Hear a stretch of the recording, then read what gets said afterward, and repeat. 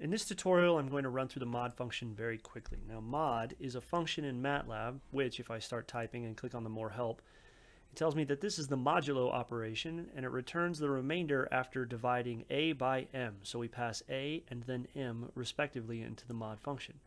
So let's go ahead and run through some examples. 4 comma 2. If I divide 4 by 2, the answer is 2 and there is no remainder. However, if I divide 5 by 2, I do have a remainder, 2.5. That's that 1 half or 1 over 2. We can use mod to find even numbers and odd numbers in for whatever process we need, uh, which is primarily why it is used. But there are some caveats to it, so let's go ahead and say uh, the mod of negative 4 comma 2. So if I divide negative 4 by 2, I have 0. But if I have 4 comma negative 2, I still have 0. However, now we're going to focus on that 5.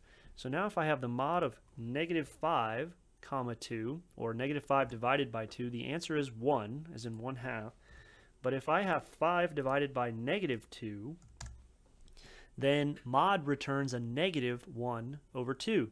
So here's the thing to note, that if we have a remainder when we use the mod function or the modulo function, that the sign that is returned for the remainder matches the sign of the second number or the number that we were dividing by. That's important because this is one of the biggest distinctions or differences between the mod function and the remainder function. The remainder function's return matches the sign of the number we are dividing.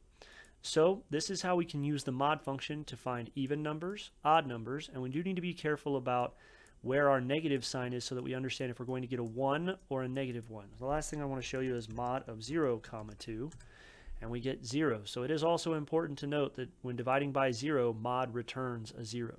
So I hope this helps, specifically in helping you find which numbers are even and odd, and thanks for watching.